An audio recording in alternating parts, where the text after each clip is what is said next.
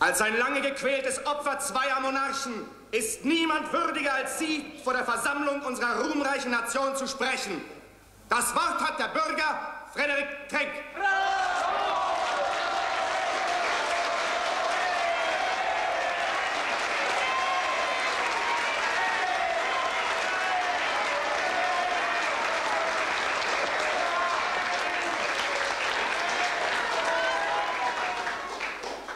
Bürger,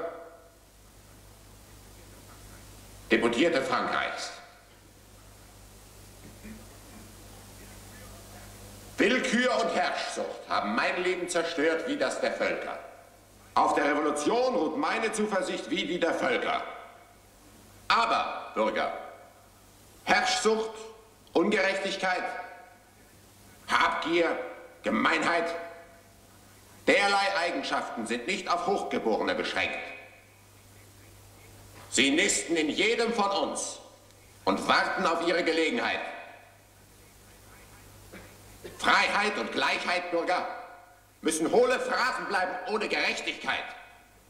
Wir sind aufgerufen, eine neue Welt zu bauen, in der der Mensch endlich ohne Armut, ohne Unterdrückung, ohne Ungerechtigkeit als ein Mensch unter Menschen leben kann.